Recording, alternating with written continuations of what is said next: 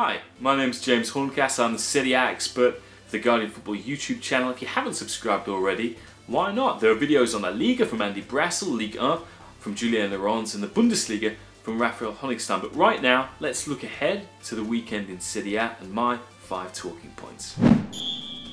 Max Allegri returns to San Siro to face AC Milan, his former club, after being outed by his new employers Juventus as a fan of the Bianconeri as a boy who used to have Michel Platini's poster on his bedroom wall. He meets again Pippo Inzaghi, the player he clashed with at Milan. He once asked Pippo, do you want my job? To which Pippo replied, sure, and I'd do better at it. Pippo has certainly made a good start to life as boss of the Rossoneri. He's taken maximum points beating Parma and Lazio, but can he lead an injury and suspension hit Milan to victory over the champions, who also have a perfect record. It promises to be a great show at La Scala del Calcio. Fiorentina have been one of the best teams to watch in Serie A in recent years under Vincenzo Montella, but they've had a difficult start to the season. They lost to Roma on opening night and then were held to a draw by Genoa on Sunday. They've actually run dry in both of those games, and Fiorentina haven't been goalless in their opening two matches of a Serie A campaign since 1990. That's almost a quarter of a century ago. Now, how do we explain this? Pepito Rossi has undergone another knee surgery. He scored 16 goals in 21 games for them last year.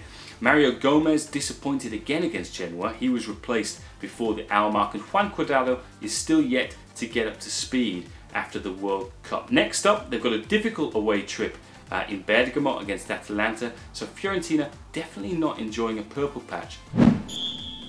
Palermo president Maurizio Zamparini seems to be dusting off and sharpening his axe. His former player Gianluca Atzori, an ex-coach of Sampdoria and Catania, was in the stands as Palermo lost 2-1 to Hellas in Verona on Monday night. Is he set to replace Italy's very own Tony Pulis, the baseball cap wearing Beppe Iachini? Zamparini insists not. He says uh, Iachini can lose his next five games, starting with Inter on Sunday night, and still be in the job, but is one of Italy's most famous mangia allenatori or coach eaters really going to be that patient? I doubt it. There's a lot of nostalgia as Cagliari crossed from Sardinia to the capital to play Roma at the Olimpico on Sunday. Zdenek Zeman comes up against the team he twice coached. He was sacked by them 18 months ago. His first act as Cagliari manager for an uber attacking coach, it's obvious he sold his best centre back Davide Astori to Roma. He's reunited with his former Cagliari teammate Radja Nainggolan, who's been Roma's best player of the season so far. Whenever you talk about this fish, you have to mention Daniele Conti, the Cagliari captain and son of Roma legend Bruno Conti, Marazico, member of that 83 Scudetto winning team. Well, he's been an ungrateful son. He scored five goals for Cagliari against Roma. The question is, will he do so again this Sunday?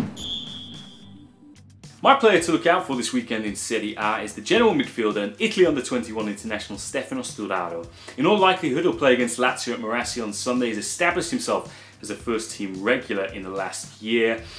He's a local lad, he's from Sanremo, he's a Genoa fan, he's got the Grifone tattooed on his arm.